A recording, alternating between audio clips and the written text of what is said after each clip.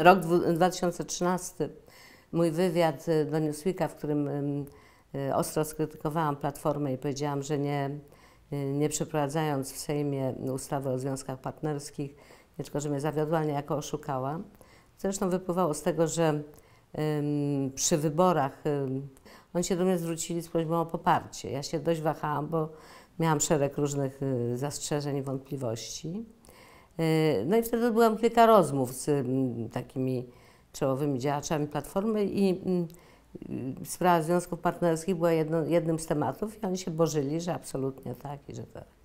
W związku z tym się poczułam oszukana osobiście, użyta niejako, a poza tym wydawało mi się, że oni mm, oszukali ogromną część wyborców, którzy głosowali na nich właśnie dlatego, że liczyli, że Y, ten, ta rozmowa o, o, modernizacji nie polega tylko na budowaniu mm, autostrad i orlików, ale dotyczy także mm, praw obywatelskich, praw człowieka i prawdziwej demokracji, to znaczy takiej demokracji, z której mogą korzystać różni obywatele, niezależnie od poglądów, od rasy, od orientacji seksualnej itd. Tak no i ten wywiad się, się odbił szerokim echem i wywołał y, zadowolenie ze strony przeciwników Platformy, a irytację, mówiąc delikatnie, ze strony niektórych członków Platformy i e, ja już nie jestem osobą pamiętliwą, więc szczerze mówiąc nie pamiętam ani nazwisk, ani sformułowań.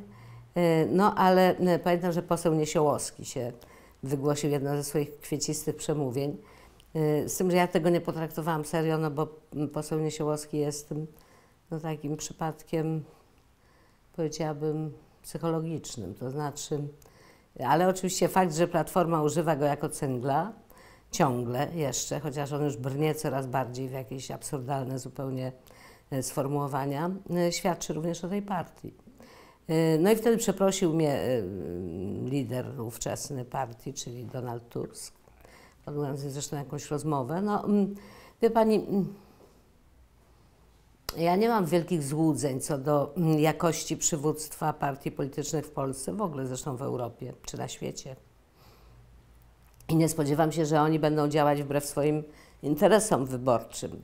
Natomiast byłam przekonana, jestem przekonana do dzisiaj, zresztą teraz się to pokazuje przy, przy, w tej nowej sytuacji wyborczej, że, yy, yy, że ludzie są niepewni swych przekonań bardzo często, szczególnie w takich sferach, które są im obce, że są y, łatwi do zmanipulowania y, w sposób zły. To znaczy, że można bardzo łatwo uruchamiając y, pewne złe emocje, czy strachy, lęki, wywołać, no po prostu wszczepić zło. No, teraz to się dzieje również przy okazji tych nowych wyborów y, w temacie uchodźców to jest ewidentnie wykorzystywane mm, do podbudowania takich ksenofobicznych, lękowych, y, agresywnych, y, irracjonalnych postaw, które, jak wiemy z historii, mogą się skończyć tragicznie.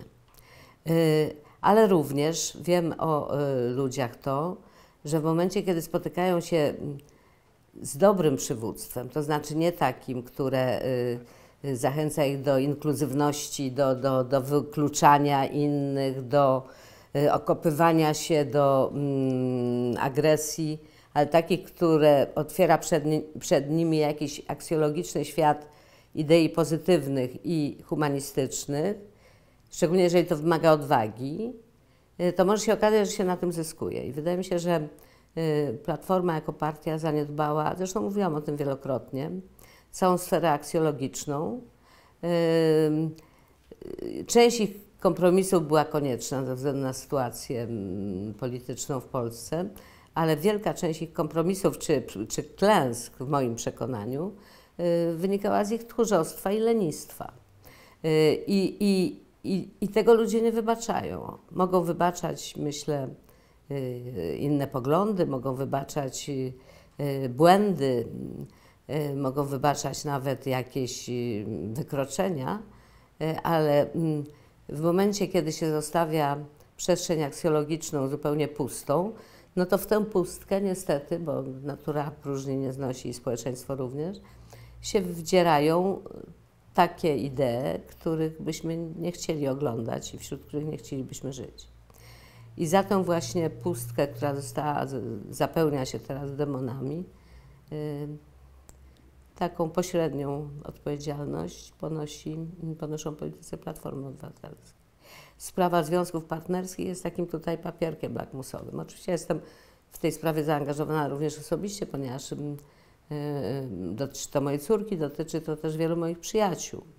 Y, Ale niezależnie od tego, czy, czy, czy, czy mam tutaj pewien rodzaj mm, mm, prywatnego zaangażowania, to moja jakby postawa i moje przekonania polegają na tym, że y, wierzę y, w y, demokrację, równość i sprawiedliwość y, w pojęciu takim mm, postoświeceniowym i mm, wierzę, że kolejne grupy obywateli, które były wykluczone, mają prawo do godnego życia i że każdy obywatel według konstytucji, którą, na którą się zresztą powoływano, żeby nie przyjmować związków partnerskich w sposób, powiedziałabym, co najmniej dyskusyjny, y, że każdy obywatel według tej konstytucji, którą mamy, ma prawo do godnego życia.